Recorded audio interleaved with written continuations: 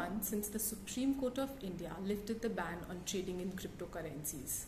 Since then, the almost dormant sector has seen renewed interest from both investors as well as participants. Added to this, the national lockdown, which started towards the end of March, has made a lot more people stay at home and do nothing much except work. Players say that both these two factors combined have led to a huge surge in cryptocurrency trading in recent months. However, the lack of a regulatory framework and talks about a potential law that could restrict the trading in cryptocurrency once again continues to be a challenge for the participants as well as investors.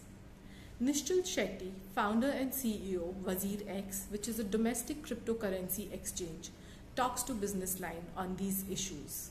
In the last few months, we've seen a sudden surge in the number of people signing up on our platform. Uh, in fact, we've seen a surge of uh, three times more people signing up and uh, in terms of trading volume we've seen over 400% rise in the last few months. I think there are two important factors that have led to this surge. The first is the lifting of the cryptocurrency ban by the supreme court of india. And soon after that there was a lockdown in our country which is still ongoing. And what we've seen is that a lot of people who have lost their jobs eh, offline jobs and stuff uh, they're sitting at home and they're trying to find out new ways to earn money. And crypto is turning out to be a new investment uh, platform and investment mechanism for a lot of people in India today.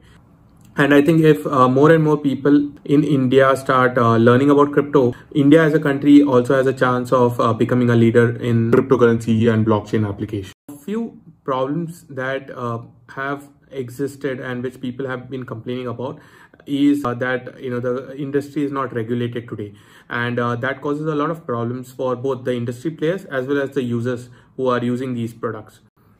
So what we have done as uh, as part of IMAI, which is the Internet and Mobile Association of India uh, we are coming together all of us exchanges in the country that, that are working in the crypto sector we are coming up with a set of guidelines i would say a framework for all of the exchanges in india to follow so that uh, we can take care of investor protection we can take care of uh, kyc and we as an exchange want to set up our own framework and implement that and eventually give that make that as a, a, framework that our government and our regulators RBI SEBI everyone can look up to and probably uh, implement eventually in regulating crypto in India. Uh, if you are someone who uh, hasn't you know really gotten into crypto I would say now is a very good time